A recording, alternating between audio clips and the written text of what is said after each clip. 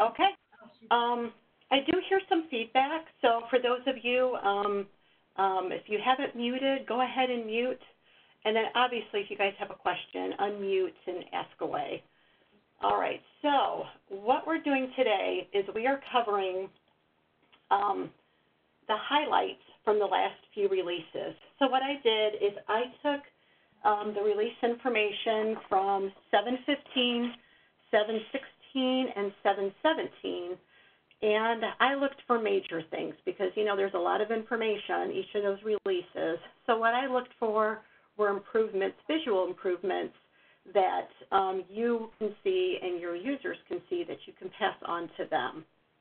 So what I kind of did is kind of divided this up into improvements, some bug fix bug fixes that I wanted to make note of, and you know there were several more, but um, I'm not going to go through all of those.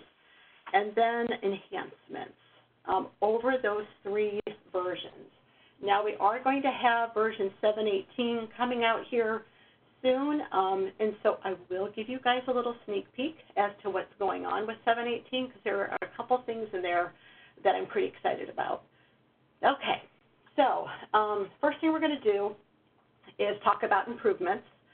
So um, just some of the major ones, or you know, slightly uh, minor ones too. Um, oh, hold on here. Oh, okay.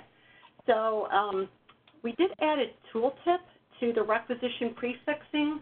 So if I went down to um, system and then users, I know some people had questions about um, that option in there and actually what does it mean. So I'm just going to pick on somebody here. And I'm going to edit this. And there's a requisition prefix option here. And basically this is allowing you to go in and enter any requisition prefix, prefixes here and allows the user to see any requisitions with that specified prefix. So you can put more than one in. You can put one in comma and then the next prefix, and those are the only requisitions that they're going to see. Now this box will not do any good unless you check the restrict requisitions. So it even says that if this box is checked, the user will only be allowed to see requisitions with the prefixes listed above. So you going in and entering something in this top box, but not check marking this will not do any good. So you do have to, these work together. So you do have to check this as well. so that's been out there for a little while, but we've updated the tooltip um, to make more sense to you. Um, that was in 715. 716, we did remove some of the legacy um, options off of the menu. Um, one of them was in Michelle? Yes. Sorry, I have a question about the prefix. Mm-hmm. I didn't realize that was there. If they add, if they create new requisitions and let it, you know, automatically number, does it number with the prefix or not? I don't think the automatic numbering is um, working yet. We don't have that as a feature yet, so they still have to keep track of their numbering. Okay. Okay, thanks. Um, so uh, the next one, any other questions about that before I move on? And going through all of this today too, it may take a little longer than an hour, especially that I got started a little late, so we may not wrap up until after 10 sometime, so I'm just giving you guys a heads up. Um, the next thing, like I said, 716, we did remove some of the legacy options. You won't see refunds legacy anymore. That was taken care of. Um, also add deducts, we got rid of that in core. And um, the show sessions option um, was also removed. So if you know you're looking for those things, they have been removed. Um, in 717, with purchase orders, I'm going to go down to POs here.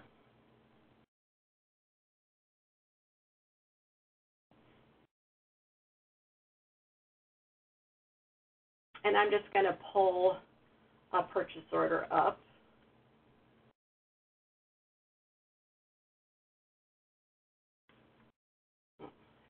to view it, not edit it. One thing that we removed from this amounts area here we removed the remaining invoiceable. It was over here, and we just believe that that got really confusing with users because you had the remaining invoiceable and the total remaining encumbrance. Um, so um, we did go ahead. We had some questions about it and uh, thought that we should just remove that altogether. So that field is no longer appearing in here. So we just removed that on the last release.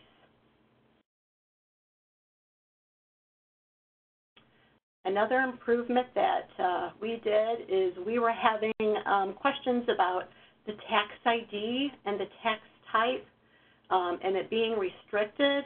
Um, what was happening is, um, well, we made a change here that standard users and obviously group manager users could see the tax ID. So let me go into vendors to show you those two fields.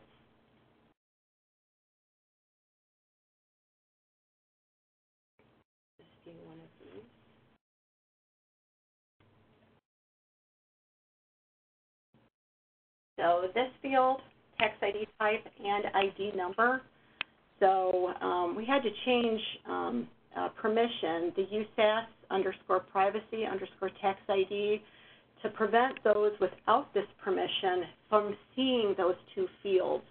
So like I said, standard users can see those, but um, read-only and rec-only users do not see those fields. So those aren't there for them. So we did make that update. Also talking about um, the roles, um, one other update we made in 717 is with standard and manager roles.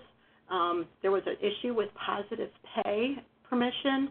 Um, they weren't seeing it under the extract, so we did change that and fixed that. So under extract, those roles should see positive pay. Um,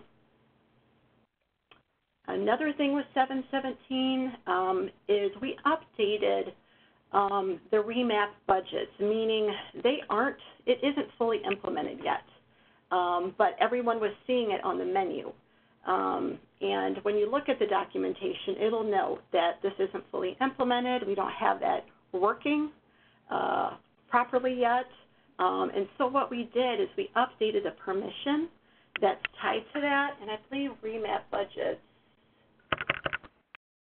is underneath system, yeah, right there. Um, and so what we did is we updated it and gave it a higher um, permission so that your um, regular users, standard users and stuff, will not be able to see that. So this basically will be removed from that um, system. Now for us, who have sysadmin type of access or admin access, we will still be able to see the remap budgets. But there's no point in them seeing it if they can't use it yet. So we did make an upgrade to that um, to change that um, permission on that. Um, those were some of the um, bigger improvements that we made. Um, enhancements I kind of consider like new features and things like that. So I'll talk about those here in a little bit because, there are quite a few. But those are the ones I consider improvements. We have been doing um, performance improvements as well. We did a couple um, uh, performance improvements on 717 regarding reconciling disbursements, and that basically made a change in the performance overall on disbursements and also improving the performance on closing pop-up windows. That going faster now instead of it the blue uh, line blinking. Um, and these performance issues, um, we're constantly working on those. And uh, programmers may be working on something and find that, hey, you know, this could be linked to a performance issue, make corrections, which could speed up the process. So these things are happening all the time, and we are well aware of um, people that have um, discussed um, issues with performance at their um, districts. So they are constantly working on improving the performance of the system. Any questions so far?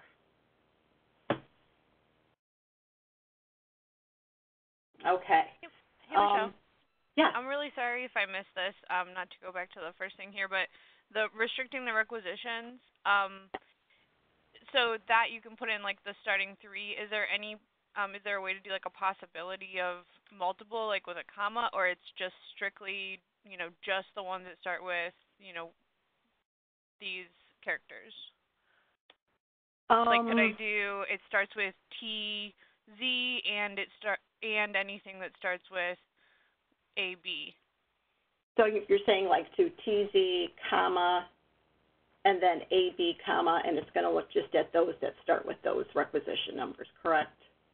Yeah, yeah. Does it do that? I guess is my Yeah. question. It does. You can have more than one. So as long as you're separated by commas, you'll be able to do that, correct? Okay, great. Thank you. You're welcome. Um, bug fixes. They, we've had a lot of bug, bug fixes, um, but uh, I just wanted to point out a couple here um, because, you know, that would take um, quite a while to get through all of them. And some of them were things that you guys had pointed out to us and we had fixed uh, throughout these past three uh, releases, and some of them were behind the scenes that um, you guys weren't even aware of. Um, and so what we did with the job scheduler, I kind of picked on that one because I wanted to show you um, uh, actually how to create a cron job. And I know I've got that documented, but I thought it wouldn't hurt just to kind of give you a quick run through of how that's done.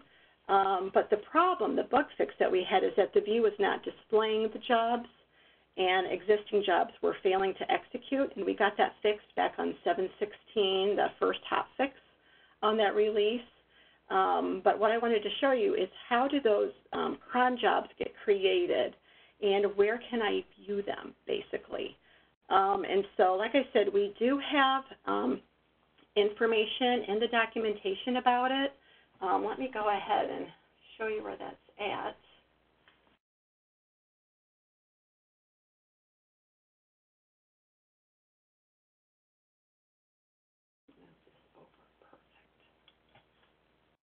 Okay, so I'm going to go to our documentation, and I believe I have it. I have it both, I think, in the report chapter, and I have it underneath the appendix.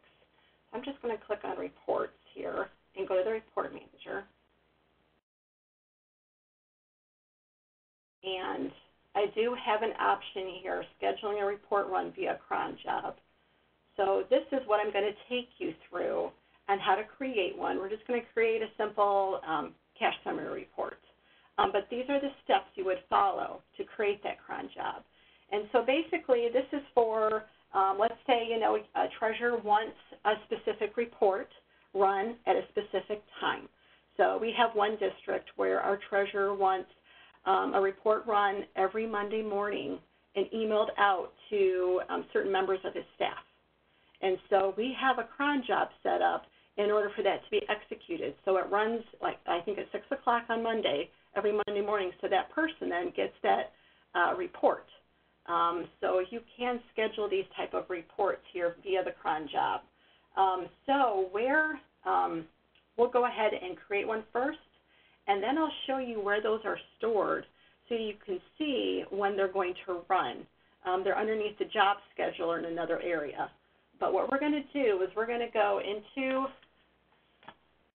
we're going to pick a report here. So I'm going to go back to my instance, and I'm going to go to my home page here.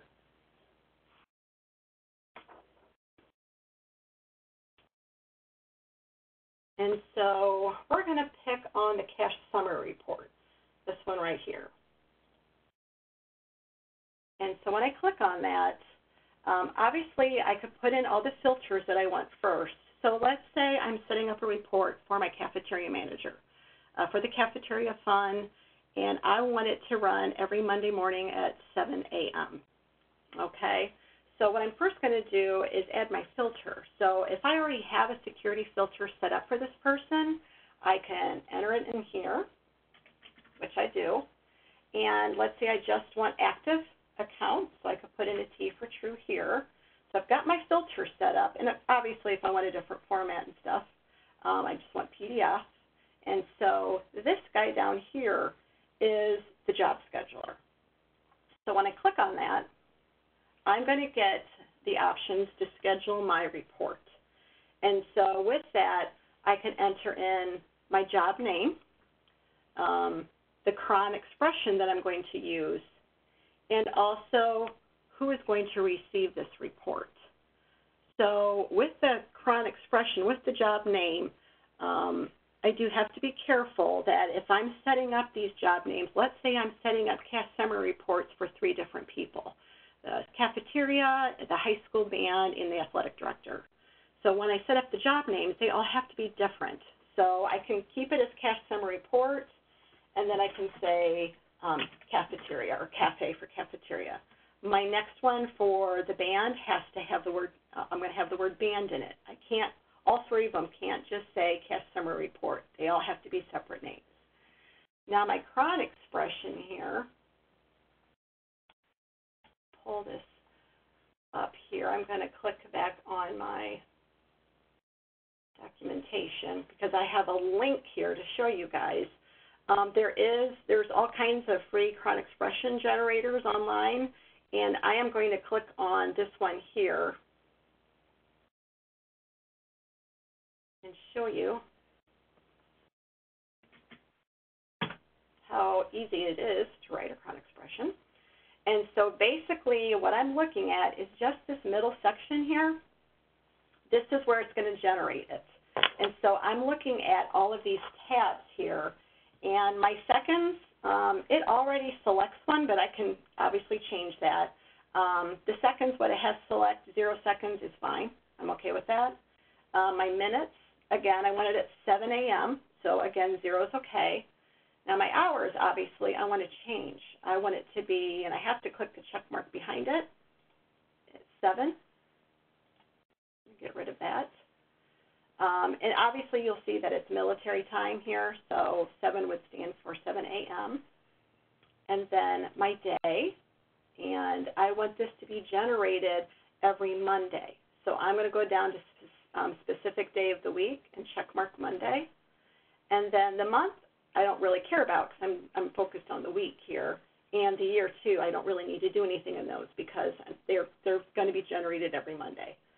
So while I was entering and, or selecting things, it was giving me my resulting cron expression down here. And so I could then highlight that and then go back to my instance and paste that in here. And then I'm going to put in who is going to receive this, put my email.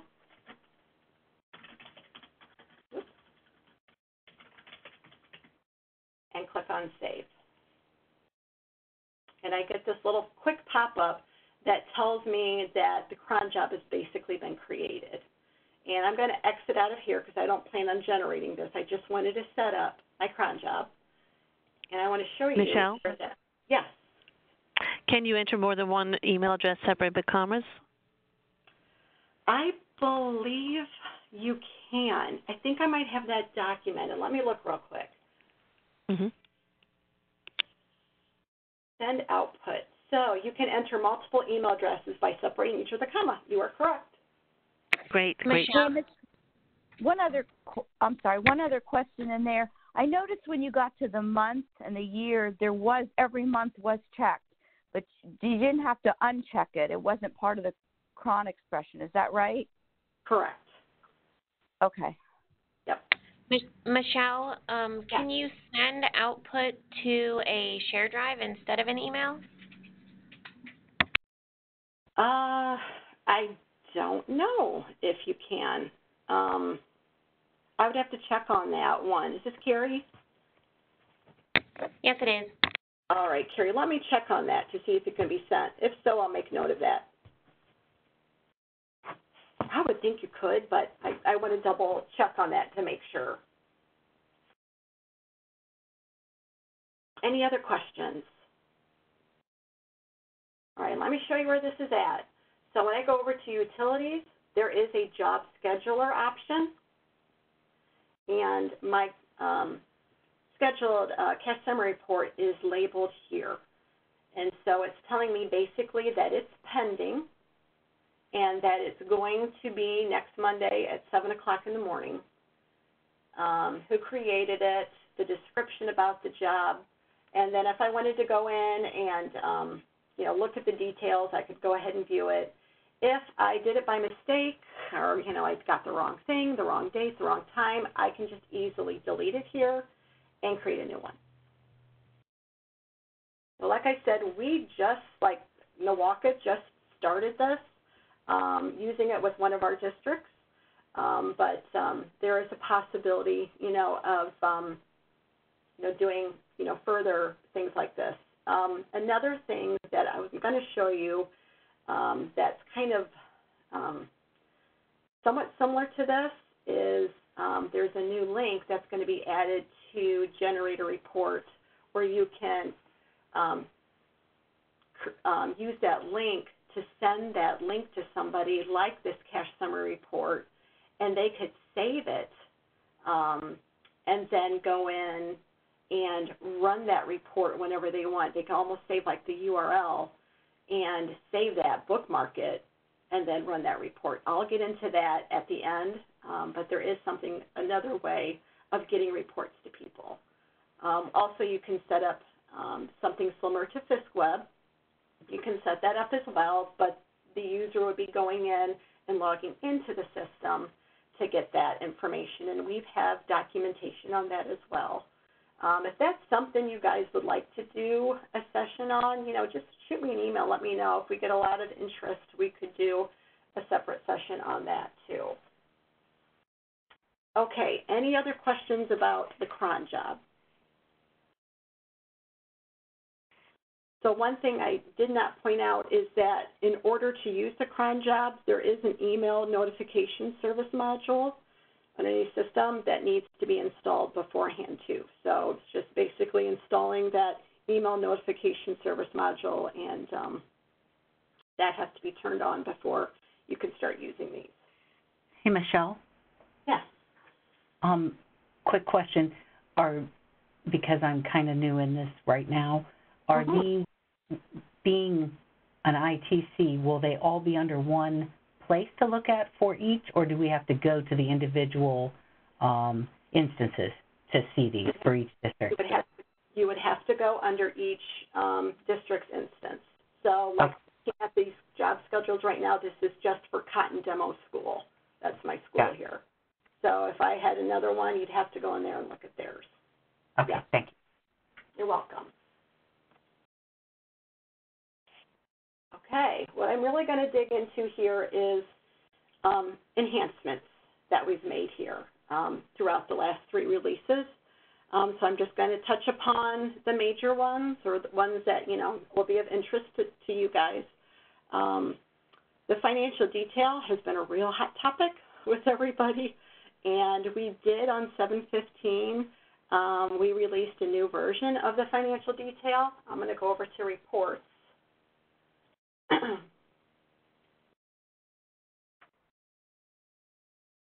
I'm going to go down to the uh, financial details. So scroll up a little bit here. So we've got our financial detail report. This is the one that we've had out there um, and this allows a user to enter a date range um, to generate the report, but it's not going to include beginning and ending cash balances on it. Okay? Now this one that we did on 715, this is the newer version, um, and it's, it's titled Financial Detail Report for the Current Period. And so it's going to allow you to include beginning, it's going to um, look similar. It's going to run um, the same way uh, that the other one does. I'm going to go ahead and run this one. But, and I'm just going to pick on one fund here. This report, though, however, is going to give you those beginning and ending balances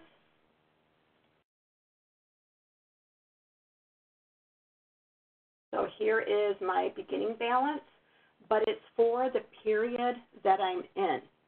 So it's looking at this is my beginning balance for my current period. I'm in January, so it's giving me January's beginning balance.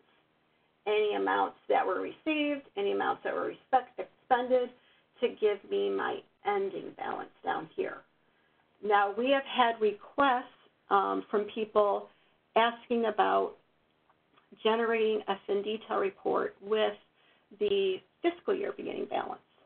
So that is something that we are going to create. Um, it's going to be, as of right now, I think it's on the 7.21 uh, release. Um, but we have had people ask how they can go in and tweak this report um, to get the July 1st and the current ending balance on the report instead of the period one. And I thought I would go ahead and show you guys how to do that in case you are wanting a different flavor. Like I said, we were, SSDT is going to be releasing this, but if your districts are wanting this now, I can show you how to do that. And so what I'm going to do is I'm going to go ahead and X out of this one. And I'm going to go back and I'm going to go into the actual report definition for this one for the current period.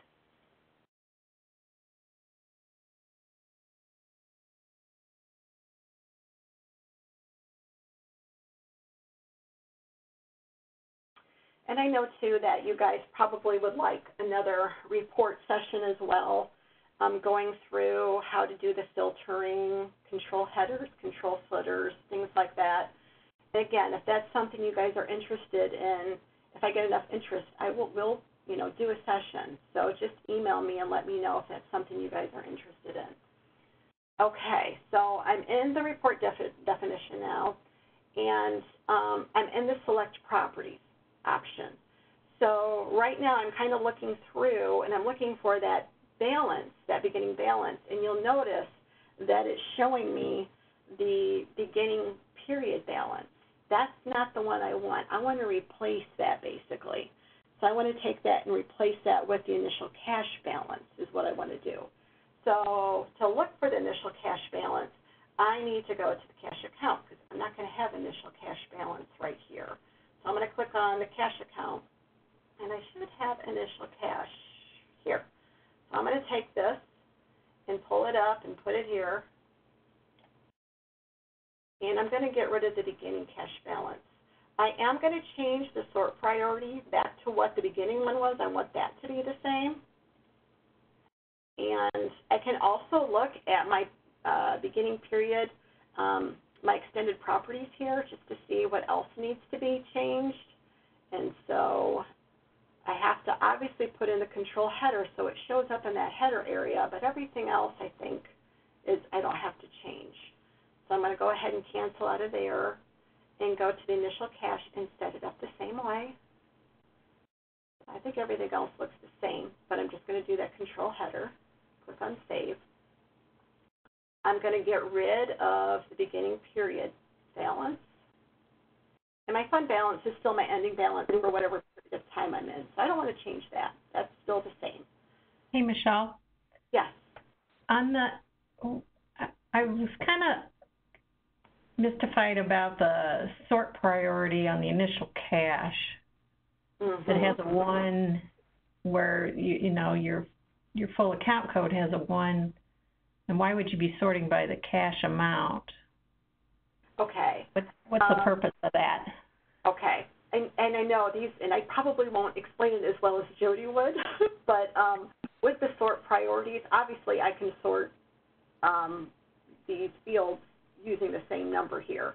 So basically, what it's basically saying is that, you know, for my full account code, which if I hover over that is my cash account, it's first, it's sorting by that, and it's also going to include the description. So I'm going to make that a 1 as well. So it's all sorting at the same time, basically. And then underneath there, my header and footers are also part of the cash account information. I want that to be sorted first as well, if that makes sense. So my initial cash and my fund balances are also going to be chosen, choosing a sort priority of 1. So all four of those are kind of kind of be taking place at once, and then from there, my next sort will be the date. So if that doesn't explain it very well, I might have to get a better explanation from Jody, but I'm kind of saying I want all of this stuff to kind of happen at the same time. So the sort priority is going to be the same. So after the initial cash is added, I'm not going to add anything else. I'm basically replacing my beginning balance with the initial cash. And then underneath configure filters, right now, these are all of the um, fields that I'm filtering on, you'll see my dates are P and D for period. Well, I want it for fiscal. And so I'm going to go ahead, and I'm just, I don't have to do this, but um, I could just, you know, leave that go and still show the beginning balances. But if I'm generating a report for somebody where it's probably maybe an advisor, um, and maybe the high school band director wants to see everything from the beginning of the fiscal year for the fund that he's in charge of. I'm going to go ahead and tweak these dates and make them the fiscal period. That way, it's just kind of matching up with my dates um, or my balances because my cash balance is starting at the beginning of the year. So if my cash balance is starting at the beginning of the year, I would want my filters to start at the beginning of the year as well for the date. Okay. I think that's the only thing I have to, well, I'm sorry. I'm going to I'm to leave that a D because it's to the, to the um, current period that I'm in. So from the very beginning of the fiscal year to the end of January, because I'm in January of 2018. And then from here, I'm going to generate the report. And I'm going to narrow this down and just put in EO 06. And again, at this point, if I wanted to save this and say this is my, you know, cafeteria financial report for the fiscal year, I could go in and change the name of this and click on Save, and I just saved a new version of this report. I'm going to go ahead and generate it first.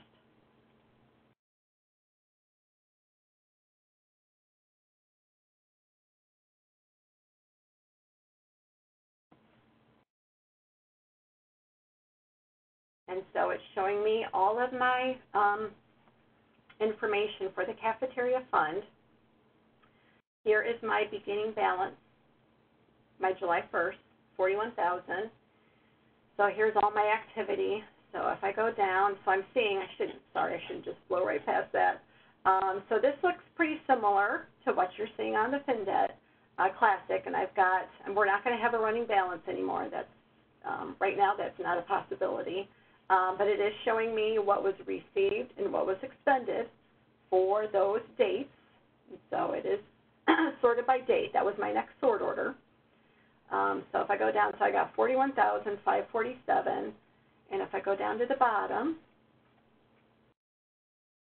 and look at my totals here, so 41,000 plus um,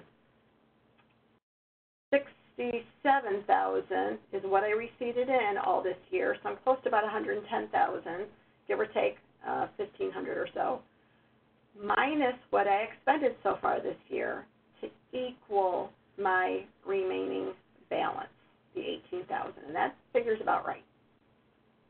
So they are able, as long as you know you're training them that you start here, here's your receipts, here's your expenditures, here's your ending balance, I think, you know, they can pretty much follow what's going on with the activity of their fund. Okay, any questions on that? I just wanted to show you how you could customize it to include um, the fiscal year beginning balance plus filtering it um, for the date range starting at the beginning of the fiscal year so it makes more sense to them. Um, and then saving that report. And that is something they can use right now if they want to. But like I said, we are going to have our own version um, in a future release. Okay, I'm going to go back and I'm going to go back into the report manager here. So I'm just going to click on report manager to get back to my grid. I just want to show you a couple other and reports that we've added.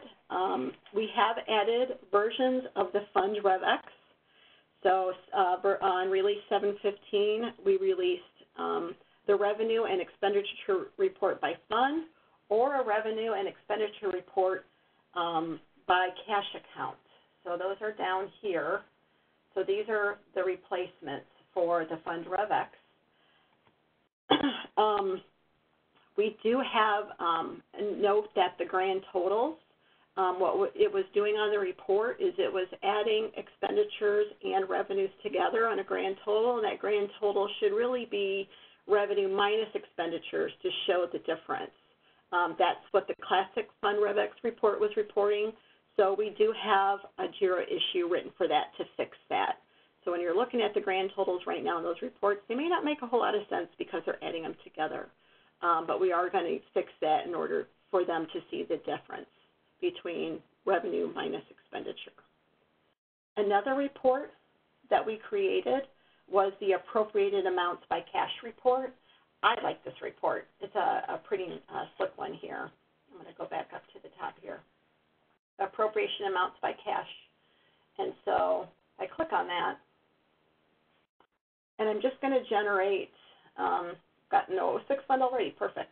I'm going to go ahead and click on generate.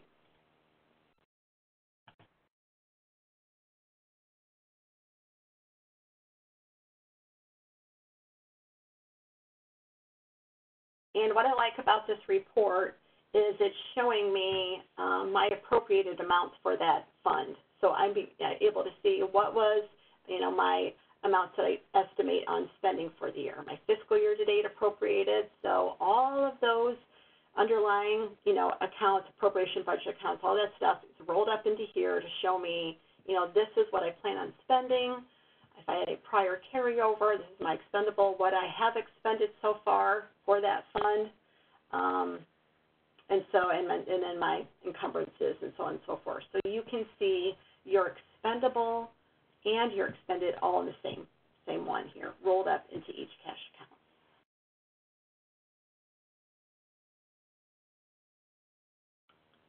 Let's see. We also um, had a new SSDT budget transactions report. And I'm probably going to, before I show this to you, I'm going to explain the budget transactions. So this report is going to generate a report of any budget adjustments you made on a revenue or um, a budget account, expenditure account. Um, so it's kind of like, I'm trying to think in classic what report we had that had something similar to that. I keep thinking of in audits, I would be able to see that stuff in there if they made changes um, to the accounts and adjusted figures. I would pull it up in audits. Um, this is a very clean report, and it just gives you those actual adjustment figures. So, but before I show this to you, for those of you that aren't really familiar with the budget adjustments, I thought I would go through that with you. So I'm going to go up to Core and Accounts, and I'm just going to pick on I'll pick on a revenue account.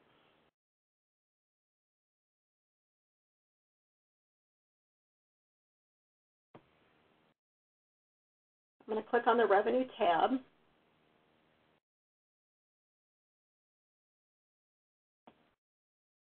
I'm going to pick on my um, cafeteria fund. Just going to enter that in here to narrow it down.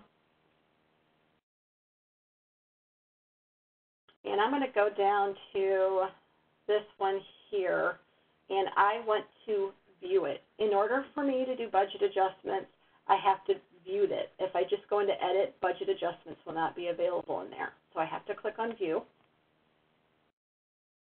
And so in here then, I just want to take a look at what I'm seeing here.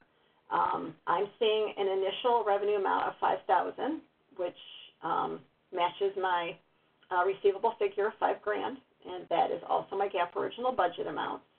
If I wanted to go in and change this and add um, another thousand dollars to this, I would use the budget adjustments up here at the top. I'm going to move this over so you can kind of see what's going on. And this is my test data here. This is what was imported over. So it's giving me um, what was imported during the import, showing that I had $5,000 originally from Classic, got imported in here, and my GAAP initial budget was also 5000 So that's what got imported on that day. So I want to go in and create another one on top of this. And so my period, I'm sorry, my date is a little old here. Um, and when I, after I hit my date, you'll notice that it changed from initial to adjustment. I can't add another initial. Um, it's already out there. So it's only going to allow me to do an adjustment. And I want to do a positive adjust, adjustment of $1,000. And I'm just going to click on this so you can see the other options. My other option is doing a GAAP adjustment as well. and then I can add description here. So this is what's kind of nice is that they have like a little audit trail. It could be something that was approved at the board, so that probably they may want to put the board minutes or something like this, or a little more detail as to why they're adjusting this. So I like the, the, the description feature.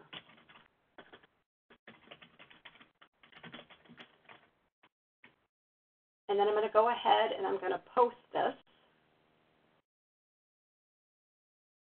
And once I do that, you'll see my new adjustment that was added on, and you'll also see over here in my account that it increased my um, receivable by a thousand. So now it's six thousand. Now, one thing I want to make note of, it did not increase my GAAP original budget. So at this point, I will have to go in and create one if that was to be adjusted as well. It just depends on the time of year and when they want to adjust those.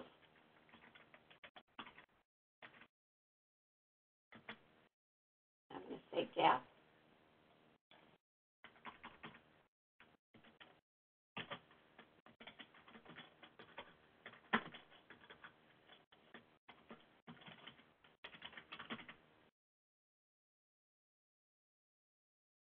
So now I have both my original adjustment and my GAAP adjustment. So now my receivable and my GAAP figure should match. So at this point, um, I used a 130 date on these. So I'm going to run a report now um, to show these adjustments that were made. And do you have any questions about the budget adjustments before I leave the screen? All right, so I'm going to X out of here. And I'm going to go back to the reports here, and I can use either go to Home or to Reports Grid. And I want Budget Transactions is the name of the report. And I'm going to go ahead and put in 30 was my date. And I'm going to go ahead and click on Generate. Uh, before I do that, I want to back up here while we're in there. Sorry about that. Um, this is a new uh, field that we've added here, report for a specific posting period, or you can enter a date or a shortcut that can be used. Let's say I did several budget adjustments today, and I want to generate a report of just what I did today. I could go in here and put in a T here, and it's just going to pull up everything that I did today because T stands for today. So that's one of those shortcuts that can be used. Um, so I'm going to go ahead and click on Generate here. Click on Save. Pull this up. I didn't get anything.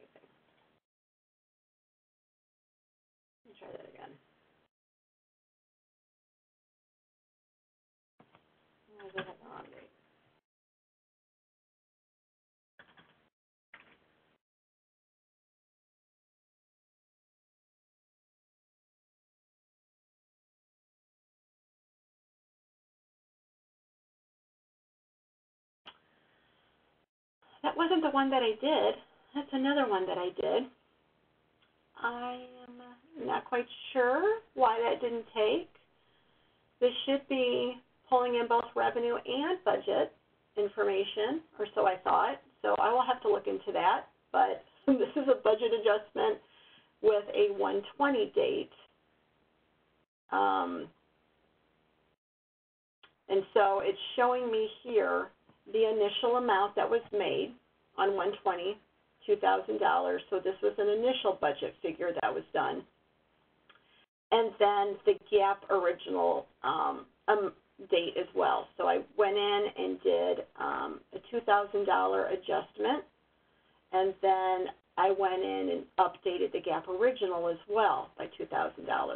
So this is a pretty clean report because it shows me the account, the description of the account, the date, what type of adjustment it was done, and then the amount. Michelle, Yes. is there a way to get uh, the, any user information onto this report to see who created that transaction?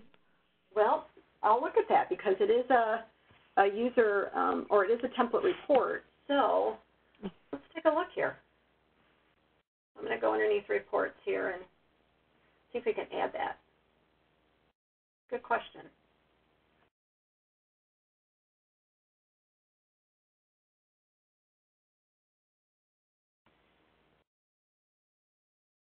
Hmm.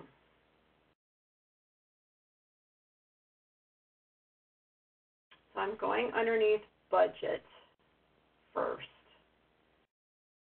And let me see.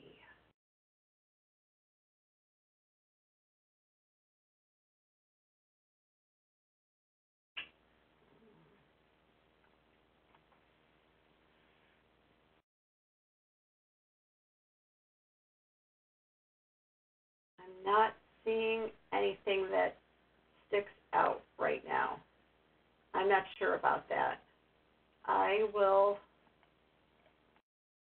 look into that to see if that's a possibility. Does anyone see Yeah. anything there? Yeah, that would be very useful if you get that in there. Right. So I'm just gonna, be underneath here. I thought maybe, I don't know if it's, they've got that recorded because it'd be kind of like a created user adjust, you know, budget adjustment type of thing that we would need to have. So, I don't see anything, but that doesn't mean that we can't, so I will look into that. Let me write that down here.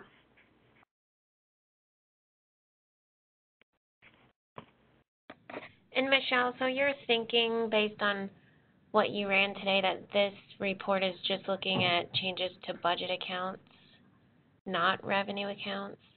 I can't say that for sure, um, it, unless I go in and actually do a budget one right now. I figured that it would do both. Uh, let me see while we're in here. Full account code.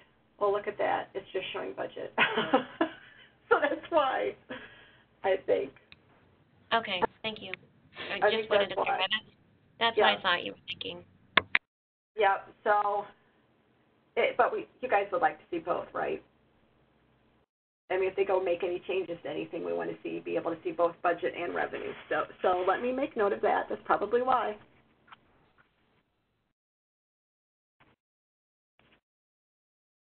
And that would be a quick, that's a quick report that we could really create ourselves, um, by just going in and using this one as a template and just, um, kind of making some changes, um, and actually doing, I wonder if we could go down and do,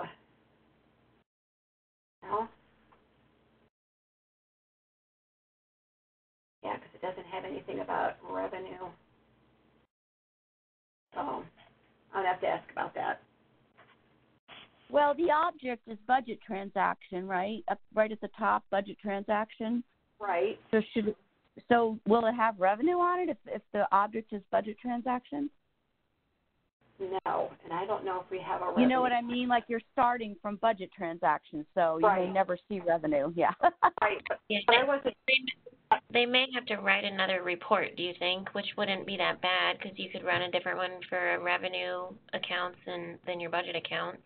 Right. I'm surprised we don't have something out there already, but I didn't know if like the budget transactions meant it, it would be able, we would be able to see like it's just budgeted figures, whether it's budgets or revenues, that both of those would be in here. I wasn't quite sure, um, if it would have both in here, we could select from, like, because we have a budget, but I thought maybe it'd also have a revenue one in here. But apparently it doesn't, and when I go look down to the other property or other objects, I'm not seeing a revenue one, so I have to ask about that. Kind of glad I did it that way, because I'm sure we'd have people probably asking about it, so. All right, any other questions? So right now, the budget transactions report can only do budgets, and I'll find out about a revenue one. All right. Um, the next thing I'd like to talk about, um, on 716, we did a EIS catch-up report um, to pull in inventory items. And so if you're, you know, have districts that are using EIS Classic, um, Jody had sent out a message back on, I think in February, back on the 22nd, um, and she sent a message to SSDT notices about the catch-up report. Now this EIS catch-up report is not something we just have out here on the system. It's a one-time thing, so we did not put it as an available report in the report grid. When she sent that message to you guys, she included the JSON file in that message for you guys to import that report into um, whatever district needs to run this. And so basically, what happened was is we did a correction on December 5th, I believe, on um, the 712 release um, to set the inventory flag on the AP invoice. It wasn't being set before that. So when they're going in, and let's say their EIS threshold information was set up in the redesign to say all 600 object codes with a pending amount of $500. Um, it wasn't setting those before the 6, the 712 6, before December 5th. Um, and so for those that came on live onto the redesign before that, we created this catch-up report to find all of those items in order for them to get imported into EIS because those items were not flagged. If they installed the 712 release, you know, on December 5th, that's something you guys have automatically handled that it installs those updates. Then from that point on, when they invoice, it would set the flag on those items. So this catch-up report was created, and I'm going to click on it here so you can see what it looks like. And Jody included um, a nice little um, Word document as well with step-by-step on how to run that catch-up report. and so when I pull this open here, um, the options here it's asking me for, what is your beginning and ending object codes on this? Well, obviously, I would want, if I'm choosing just 600s, I would have 600 to 699 here. And then also my invoice date. So when did they start um, live on the redesign? So you would put in that start date of whatever that was up through December 4th. So when that release was installed. And then you can have a threshold amount as well. So if their threshold amount is set up to be $500, you could put the 500 in here. It's going to generate a report of all those items that were never flagged um, in EI in redesign, and it's going to pull those into a report then that then can get transferred over into um, Classic and imported in through this EIS import program that we created, this uh, Classic program. And so that email that Jody um, had sent out has step by step on what everything everything that you need to do in order to do this catch-up report. And then from the 5th on, we do have a regular inventory extract report. So it's called inventory pending extract that you can run to get everything from when that fix was um, out till now if they wanted to. So basically, they're going to have two reports, the catch-up report and then this report that's going to extract anything that's been flagged with that 600 object code and whatever pending threshold amount.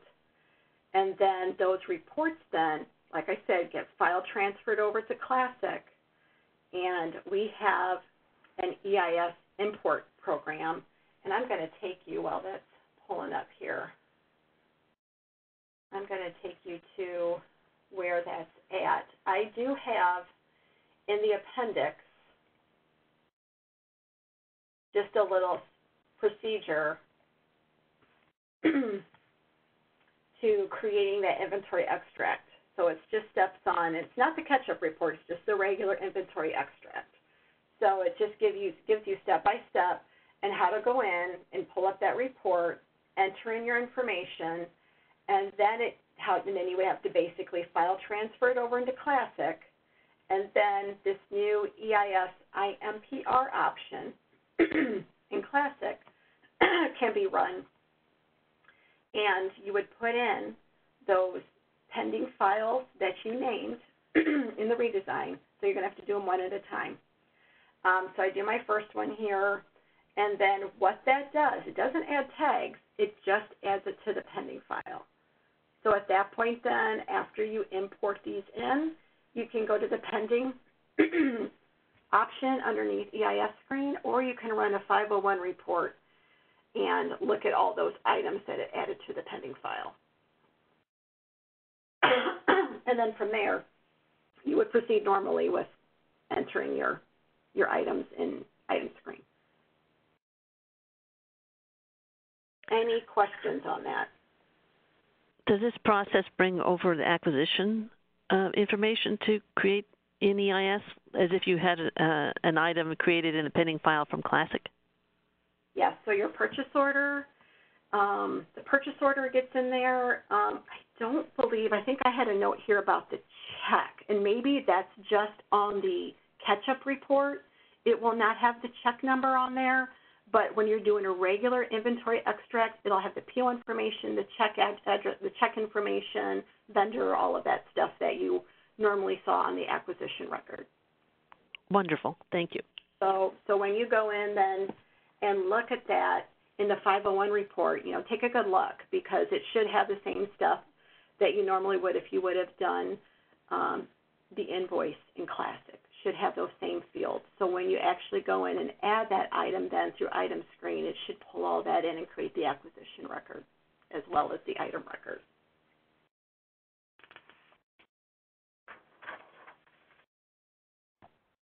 All right. Any other questions? Uh, another thing I just want to quick show you guys that was on 717, but there's not a whole lot to it right now, is um, we do have, um, we are starting the ability to implement the monthly CD and fiscal CD archives from Classic. So it's not the actual monthly CD option and redesign. It's taking your archive data from Classic and importing it into the redesign so that everything is in the same spot. So they don't have to go back to, you know, uh, class or to, you know, their the monthly CD archive reports on the web, pull that stuff up. They can get this stuff in here now. So we're getting to that point of getting that stuff set up. So I just want to show you where that's at. Um, but I believe the next version, we're going to add more to it, so you're going to be able to see more. But for right now, when I go down to utilities, there is a file import and there's a file archive. Now the file import is going to actually upload the zip file that's coming from Classic. So if you've got their fiscal year information zipped or for the for the entire year um, in a zip file, you can go in here and import that zip file. So this is basically just going in and allowing you to import that in there. So like I said, typically it, it, it would contain a whole directory structure. So it's going to have all years for a given district. So if I've got, you know, 10 years worth of monthly CD data, it's going to pull all 10 years in. I'm going to zip it for all 10. And then what's going to happen then is once it imports in, they are going to eventually see it in this file archive option. So right now, you're not seeing anything. Um, but I think on the next, I believe on the next release, if not the release after that, it's going to show that information, the fiscal year, and it's going to have a listing of all of the reports, like for each month, with a downloadable link that you could click on that specific report and download it if you need to. So it's basically the replacement for all what's already sitting out there in monthly CD for this district. Imported in, and they will be able to look up all of those archived reports in the redesign. So I'm looking forward to seeing that and seeing how that all works. So we should, we've had a little bit of a preview of it, but I really haven't gotten a really good look at it yet. But that's what the intention is of this, to be able to download those archived reports from Classic. Any questions on that?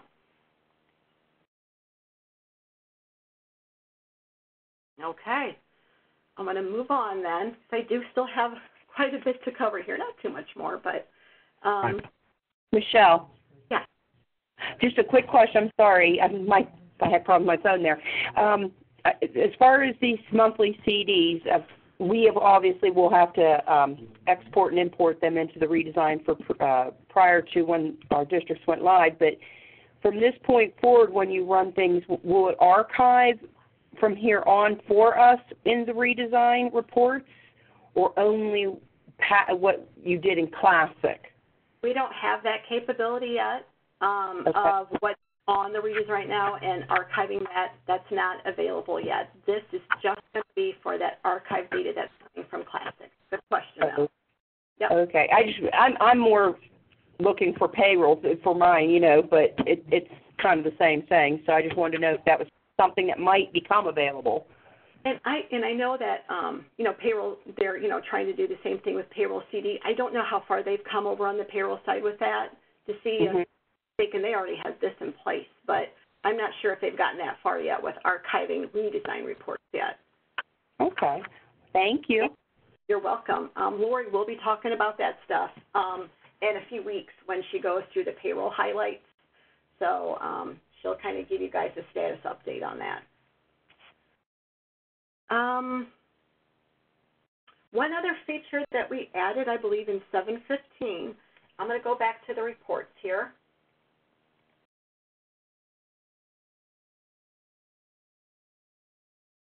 And I'm just going to pick on a cash summary here. I'm just pick on a budget summary since it's right here. Um, we did add a filter um, to a filter name field to several uh, reports um, in the redesign. And so from here, um, they could go in and enter in, and this is coming from the account filters area, enter in a filter name here, and it will filter then um, whatever is from that account filter. So if I had a pretty elaborate account filter set up with specific object codes and stuff like that, um, this might be the easiest way to get that type of report in here is creating that account filter first and then going underneath the filter name, entering that filter name, and generating that report. Now, I know a lot of people say, well, I want to be able to go in and do a range of objects and stuff like that. I want to do it on the screen. We just don't have that capability um, at this point. So you, if you have some type of elaborate you have a lot of different accounts you want on that report, you're going to have to create a filter ahead of time. But what's nice is once you do put that in here, you can save that report parameter, almost like the save sets that we had in Classic.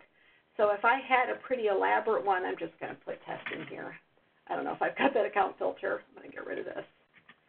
And what I can do then is um, I put that filter name in here. I go up to the save recall, kind of led me into this. I wanted to show you guys this. And what I can do is I can choose an empty one and put in, this is, you know, for my cafeteria manager or for, you know, cafeteria reports or some type of, I don't know, elaborate report that I'm using specific object codes, maybe for object codes um, 200,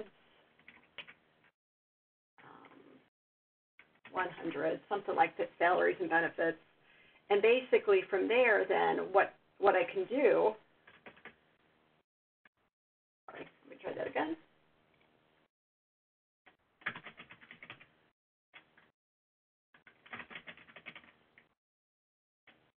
And then what I can do then is click on this guy. He will then, he was grayed out, but once I enter in a name, whatever name here that, whatever useful name I have, sorry, it took out my 100 to 200.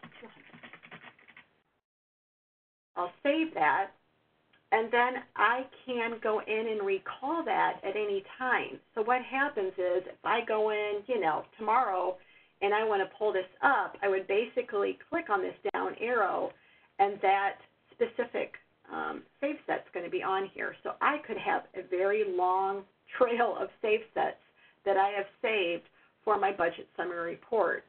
But I know that we've had a couple of questions from people saying, you know, they've got their fil- filters, but they can't remember, you know, you know what the filters were. Well, add the filters in here, enter in the filter name here, and then give it a name up here and save that save set. So obviously this is not going to show up on the report grid. Report grid is still going to show the budget summary report, but underneath my budget summary report, I've got all these different save sets.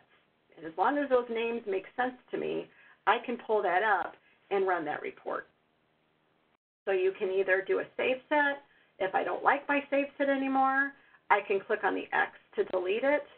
And I'm going to talk about this link here a little bit later. I'm going to add that to my 718 highlights, but it is out there now, but we'll go into that in a little bit. Um, the other options you're going to see in here, obviously default, defaults back to the default settings. And most recent, and that I believe is the default option. So if I went in here and created a budget summary report of just my 006 funds, generated the report, came back in here later today and open up the budget summary, it's going to say my most recent. I'm going to see my 006 um, options from my prior run. So those are basically, you know, blank to create one, the default, and most recent. So, you know, I'm kind of pushing districts to take advantage of these save and recall options. Um, if they were big save set users, um, you know, some of those that they know that they still want in here, they can still do that. Any questions? Is that only on the, Michelle, is that only on the bud sum, or are you entering, going to create that on other reports too? They're on almost, on, on quite a few, actually. So we've got several Okay, of them. good. All of our reports have that option. But the one thing I want to uh, make note of is it's available at the home page. If I go in to the actual report definitions through the report, um, so let me let me explain that. So I'm going to go back. Or it's available at the home page and at the report manager underneath the generate option. If I would go in and actually open up the report definition for some reason, which most people aren't going to do that, um, it is not going to show underneath the generate tab. So when I click on this generate report tab, you're not going to see that here. It's just using that generate option icon, either at the grid or at the home. Any other questions? Okay. Well, that pretty much covers everything that was major things on the last three releases. Um, I would like to show you a couple of um, things, up and coming things that are coming up on uh, the future releases. So I'm going to switch over to another instance that has that information.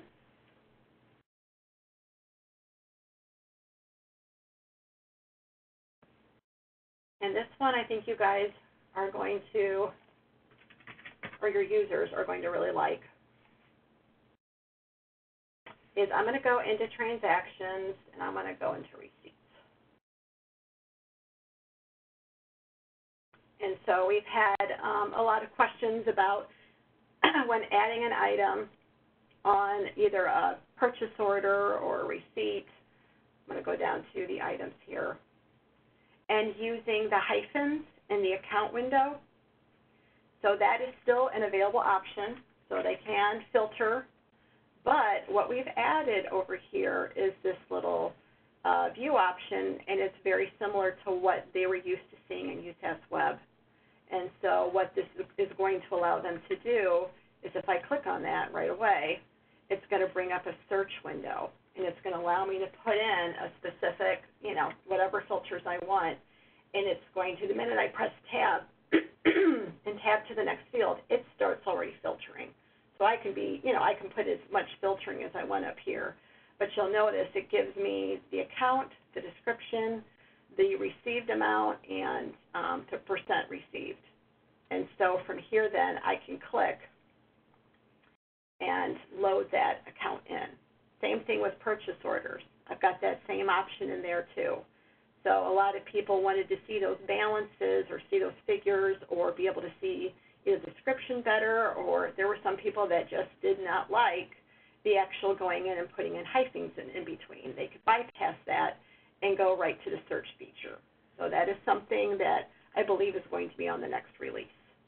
So I wanted to show you guys that, that for those that are missing that option from USAS Web, it's there now. Any questions about that?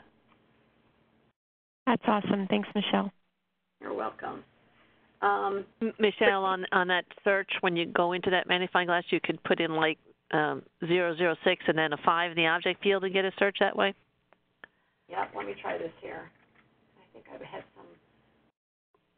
Yeah, I don't- Or something, yeah, you can put in a partial of something else. Or Sure. n- not sequential um, areas, let, let me see. too. If I put in like percent, I'm just going to try this here. Yeah, so I can use wildcards here too.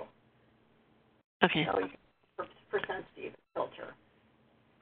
Hmm So if they just wanted the fund and the OPU, you could put that in there and it should narrow it down. Great. Thank you for clarifying. Welcome. Um, another thing that uh, is going to be on, um, I believe, on the next release is creating an optional rule that's going to warn users if their invoice amount exceeds their remaining encumbrance.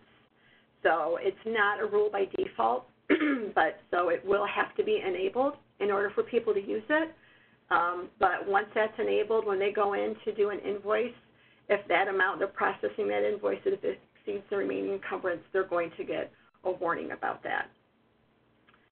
Um, and I know that they're getting close to um, also making AP invoice in a grid format and not in the old um, UI. So that is something that I know they've been working on. So hopefully that will be released here within the next few releases. Um, the other thing I want to talk about, and forgive me because this is still kind of new to me, but I thought, you know, new to me, new to you, we'll all kind of look at it together, is downloading a report directly using a hyperlink. And so if I back up back into reports here, I'm going to go back just to the grid.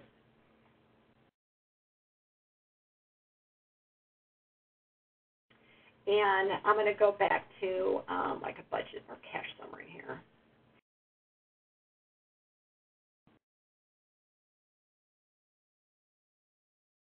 And I'm talking about this guy here.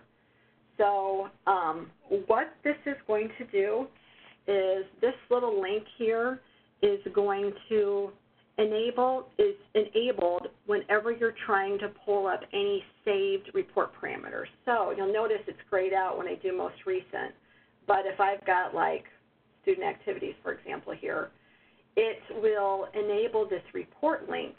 And what this will do is it's going to correct, create a direct hyperlink to execute this report. And I can take this hyperlink and I can bookmark it in a URL.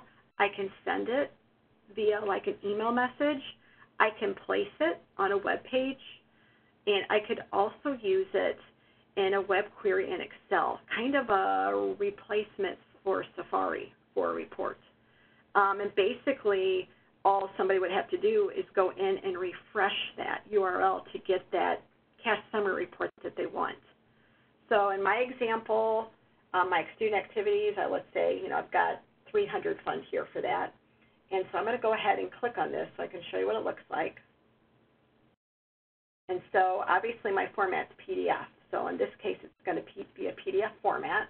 So when I click on this, it's going to show the report link. And it says, use your browser to copy this web address to execute the report directly or to create a bookmark. So do I want to include the parameters on this? Sure do, because I want to show you that too. Um, and so basically then I can copy this and then I'm just going to go ahead and open up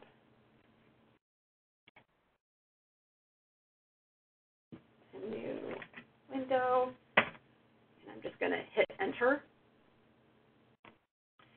And it's going to, my browser set up to download it.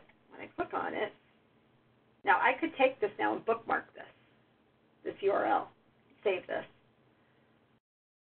And ta-da, first I want to show you this. Um, it generated the report. This is our new report parameters page that we're adding to all the reports. So this is another thing I believe is going to be on the next release. So I hope you guys like it. It's basically showing, this is a cash summary, so it's showing me who ran it, when, and at what time. Um, what report parameters did I select? I selected the PDF and everything else is basically the default. What is the name of the report? This is my cash summary report. And what parameters did I include? And it does have here the 300. Not right, quite sure why it doesn't show it down here. Um, this could this is still a work in progress, so I thought they were supposed to be down here, but I really do like how that looks. Um, one other thing they're going to add to that too is they're going to show you on this cash summary the current um, period that you're in. So the current posting period is January. And also, if I had a date range, which the cash summary I don't, but if I was doing like uh, finance, uh, financial uh, report, it would show the actual date range that I selected on the uh, second page as well, and all other pages. So every um, page after this will have the posting period, and if there was a date range in the parameters, it would show the date range as well. So I need to have a little more information about all the possibilities with this new link feature, and I'm either going to record a video or we'll go over this um, later in another Friday webinar once I get more information. But you can see how I could take this report and bookmark it, and I could go to that bookmark then and refresh it, and it remembers the 300 fund, and it will and it will create that cash summary report for me. Any questions about that? I think that's awesome. It's great. That is great. It's kind of mind-boggling because I'm like trying to think of all the different things you could do with that. So I'd like to get a handle on all those different things you could do with that and share it with you guys. But I think that'll be pretty cool. All right, just a couple other things. That's all I wanted to show you actually on the instance. But I just had a couple other announcements that I wanted to share with you guys. Um, for one, just a reminder, I'm going to go to the wiki here.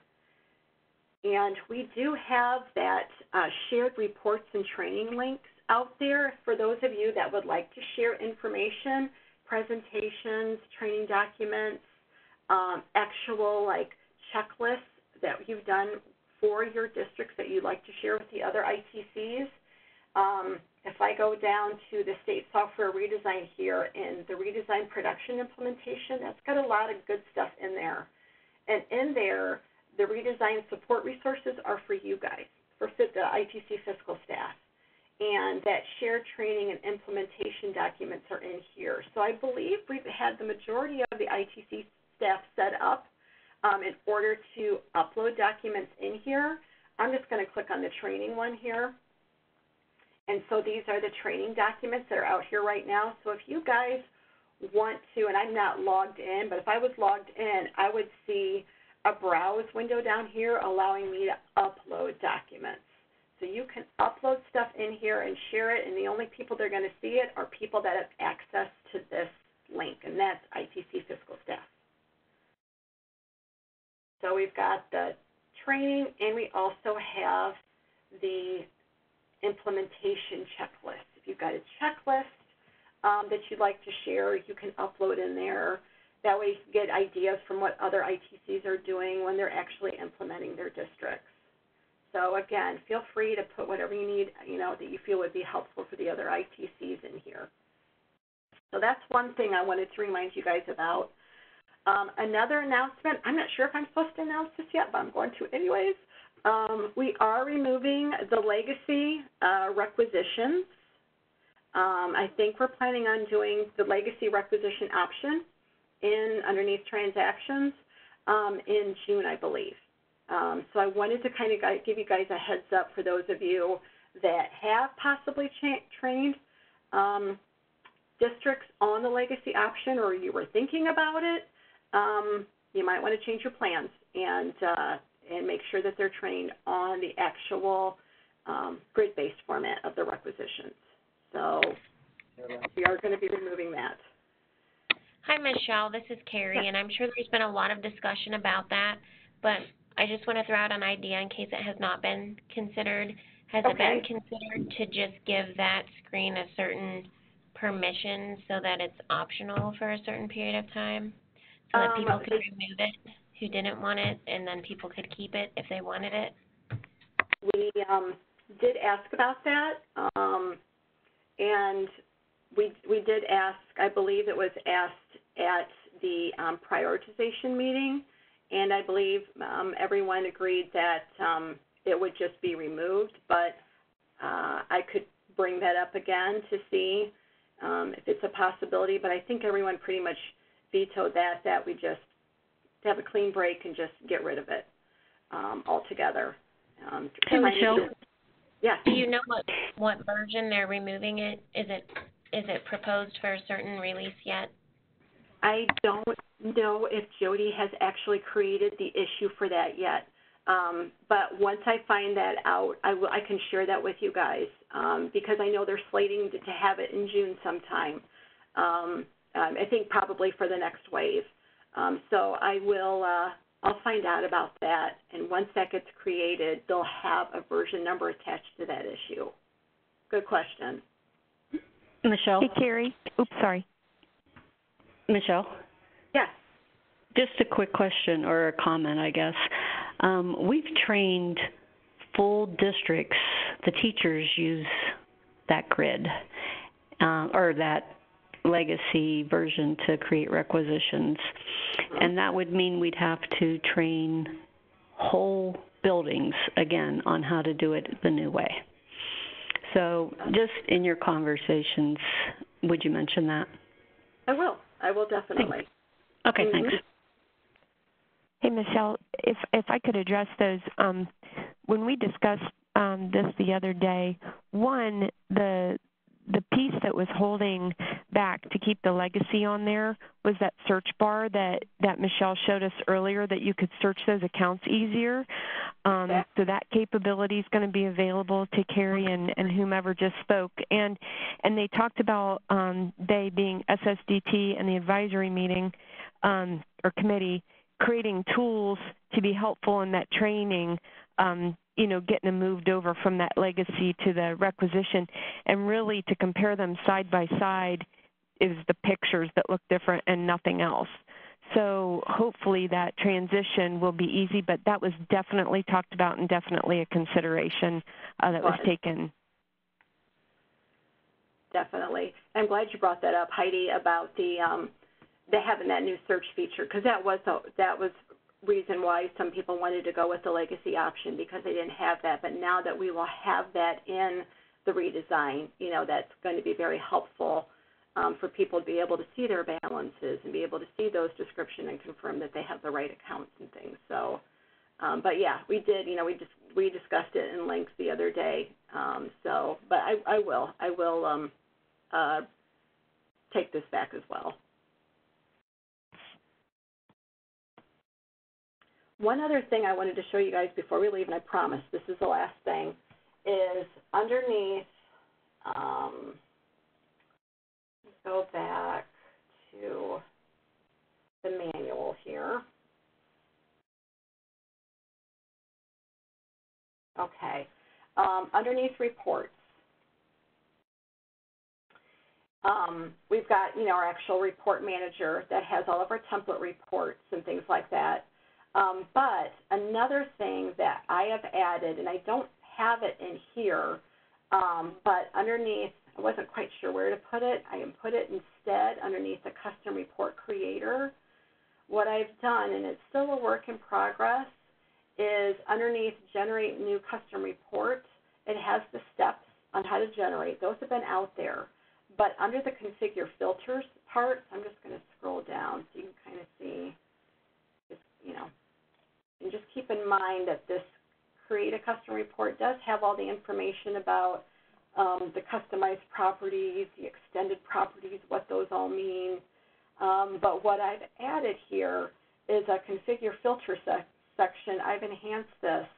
And for one, I've created, or I'm not, I didn't create this, Jody did. Uh, I don't want to take credit for her excellent work. Um, but uh, she created an actual place where she used examples on how to create a filter value parameter under the configure filters. So here's your configure filters tab when you're creating a report or um, customizing a template report and the different options here. And she's got examples in this link to show you how to do that. What I've then done is I went in and explained, you know, how to filter, and I have given examples in all the different operations, what the definition means, and examples of how to hard code a filter in there or to create a parameter. These are just examples. So like, for example, this first one, if you use the equals operation, it's going to match any exact value. So for example, an account filter. So I could say the filter equals the high school band, and that's kind of considered a hard-coded filter. Um, when I hard code something in and I go to do the generate report, this um, uh, field is not going to show because I hard coded it in. So that filter is not going to display because it doesn't need to. I told it I just want high school band. So that's not going to appear when I generate the report. Now, if I want to set it up to prompt me to enter in a specific filter, I would use this option, filter equals, and I create a parameter, filter name. And when you generate the report, slide this over here, this is what it's going to look like under query parameters. So by entering this filter value here, you're establishing a filter name or, or a filter prompt and basically you enter in the filter name here at the generate option. Hard coding won't give you that option, but if you want a quick report, I'm just searching for a certain thing, you can do it this way. If you want to set up a parameter, because you're setting this up for one of your districts, and they want, you know, something to be included in there, you can set up a parameter, and that's what it's going to look like. So what I've done is I've gone through, I'm not done yet, but I've gone through a lot of these. You know, what if I use the one of operation? How can I set up a parameter there? And I just show one example, and then how it looks like when you generate the report. So these are out here to kind of guide, give you guys a little bit of a guideline um, as to what these parameters mean, um, or what these operations mean, excuse me, what their definition is, and example of how you can set one up. So, and like I said, Jody's link, when I click on that here, goes into it a little bit further and just gives you an example of one that she's done. So she just goes through all these different options. Any questions on that? Okay. Well, I appreciate you guys. I'm so sorry that um, I was uh, delayed here this morning, but I appreciate you guys hanging on the line with me. I thought this one was going to take over an hour, but I really wanted to um, get as much information as I can so you guys feel a little more comfortable with the new uh, features that have been brought on these last few releases. Guys don't have any other questions, have a wonderful weekend. And hey, Michelle. Doing... Yes. It's Brian over at Access. Could you show me real quick how I could get to the documentation on how to do the export out of ARF for Classic and then import the receipts into the redesign? Is that uh, out there uh, anywhere? for, are you talking about um, the like pending transactions, Brian, with? I'm not sure. Dave had mentioned it to me because we have some districts that use ARF, and he said there was an easy export to pull it out and put it the receipts into the redesign so that they could still use it but yet move to the redesign. Okay, we do have underneath transactions, um, underneath pending transactions. Take you there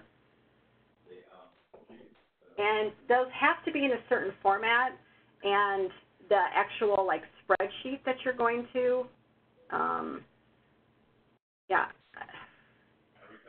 or however what for, what format are you using you're using the ARF format like the actual I'm not sure how it's going to come out of classic Yeah, I don't either. No, okay. I I have to I have to look into that to see. I don't know about at that part. He's probably ahead of me when it comes to that stuff. Okay. So Do you want me to enter a ticket for that? yes, why don't you go Okay, ahead? I will do that. But what happens, Brian, is once that format's set up and stuff, you can use the import option in here, I believe, and choose that file, and you can import those in, and you know upload those transactions in. So. Okay, perfect. Um, but yeah, yeah, send, create a ticket and we'll look into that further. I'll do that. Thank you. Sure. Any other questions? Uh, like I said, we will be doing budgeting the first week of April, and then Lori's going to be doing uh, a review of the payroll highlights the following week on the 12th. Thanks, everybody. Have a great weekend. You too. Thank you, Michelle. Thank you, Michelle. Thank you.